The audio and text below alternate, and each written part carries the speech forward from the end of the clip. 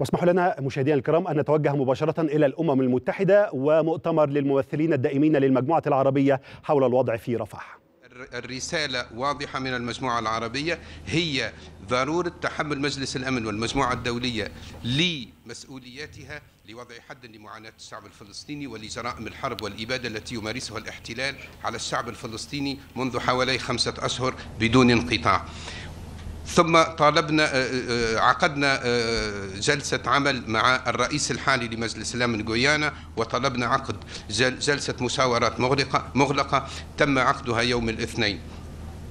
الرسالة كانت واضحة بالنسبة إلى وضع حد لمعاناة الشعب الفلسطيني وإدخال المساعدات الإنسانية وخاصة تحمل مجلس الأمن لمسؤوليته إزاء التهديد الأخير الذي أطلقه رئيس حكومة الاحتلال بالقيام بعملية عسكرية واسعة في رفح حيث يتجمع حوالي 1.5 مليون فلسطيني تم تهجيرهم من مناطقهم ولا ملاذ لهم آمن في أي مكان في غزة. طالبنا الأعضاء مجلس الأمن بتحمل مسؤولياتهم والتاريخية والأخلاقية والقانونية لوضع حد لهذه المخططات ولإنقاذ الأرواح وإنقاذ الشعب الفلسطيني. شكرا. تفضل. الحاج من العربية والحدث أولا أود أن أقول أن هناك أخبار بأن هناك وحدة صف بين الدول العشر غير دائمة العضوية وراء مشروع القرار الجزائري وحتى هناك اقتراحات بأن يسمونه إيتن درافت أنه مشروع قرار الدول العشر غير دائمة العضوية لا أعرف ما هو رد فعل الجزائر بالنسبة لذلك. بمثل هذه الوحدة الصف وراء مشروع القرار روسيا والصين وهناك فرنسا. ولا نعرف حتى الآن الموقف البريطاني ربما ألقيت على ذلك بعض الضوء. لماذا التأخير؟ لماذا عدم الذهاب إلى التصويت؟ فورا خاصة من تعليماتكم في البعثة الفلسطينية أن تتوجهوا إلى التصويت بأقرب وقت ممكن. ثانيا ماذا تقولون لمن يدعي أن تمرير القرار سيكون له أثر سلبي على المحادثات الدائرة الرباعية في مصر؟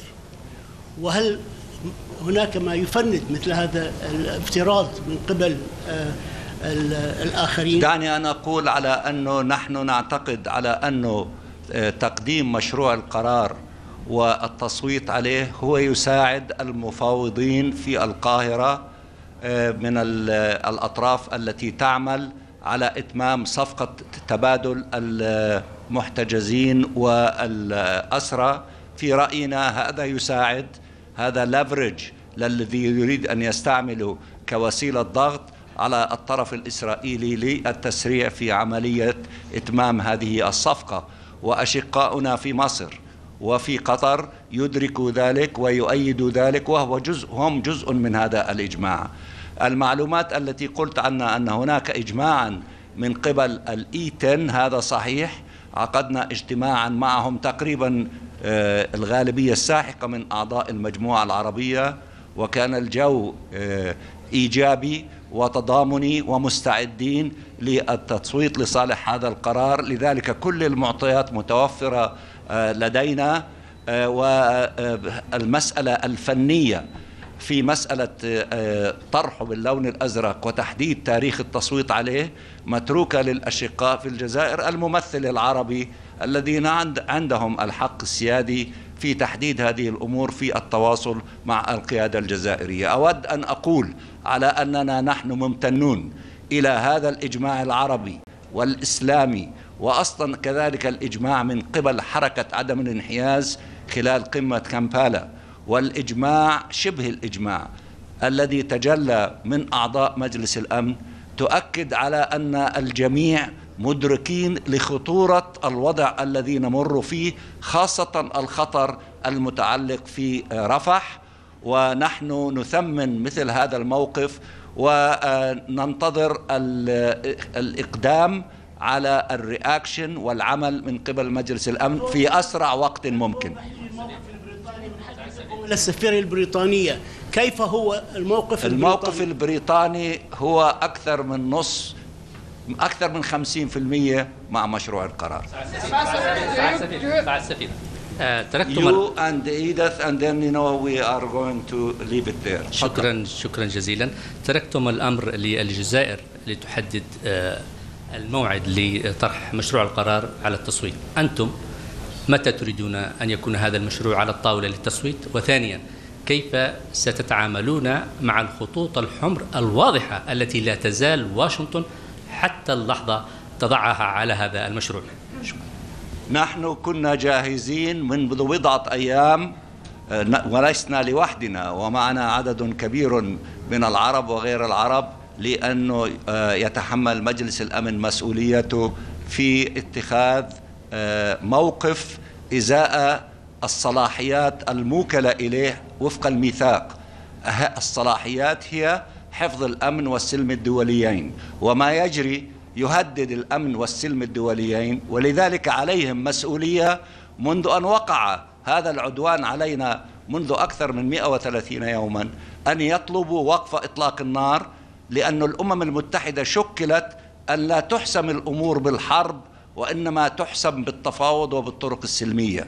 هذه مهمة مجلس الأمن لذلك نحن دائما مع أن مجلس الأمن يتحمل مسؤوليته وأن يوقف هذه هذه الحرب Edith, you have the last question. Thank you very much, Mr. Ambassador. Um, last week, the United States Ambassador Linda قال سفير الولايات المتحدة وكان واضحا أن الولايات المتحدة تعارض مشروع قرار الجزائر ونحن نتفهم أن وزير الخارجية بلينكن كان يتحدث إلى وزير الخارجية الجزائري ما الذي يجعلك أو هل كنتم بمناقشات مع الولايات المتحدة وما الذي يجعلكم تفكرون أن هذا القرار يمكن أن يفلح وأن يحصد وألا يحصد رد فعل سلبي من الولايات المتحدة؟